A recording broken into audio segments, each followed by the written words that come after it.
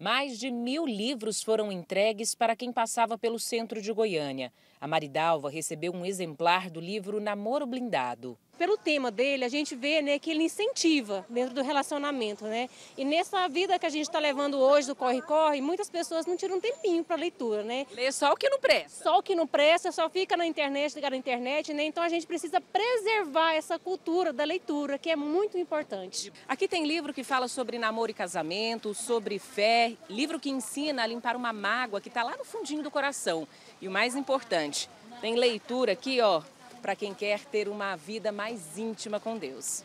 Esses livros eles levam conforto espiritual, ensinamentos como a pessoa tem uma vida espiritual abençoada, também abrange o casamento, abrange também a libertação, pessoas que têm problemas com vícios, tem tudo, é, é uma gama muito forte, vários títulos que levam as pessoas a pensar.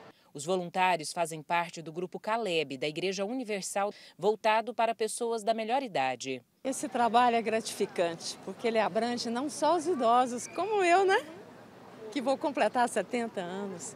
Mas é uma alegria poder servir, estar em contato com essas pessoas, levar informações, fortalecê-las espiritualmente. O hábito de ler bons livros estimula o raciocínio e traz conhecimento. Nada melhor que conhecer mais de Deus. O cristianismo abre essa porta, é importante ela conhecer que não é um mundo diferente do que ela vive, ela vai conhecer isso, vai conhecer a palavra de Deus de uma forma diferente e ver que é o dia a dia, orientações práticas para ela ter uma vida melhor.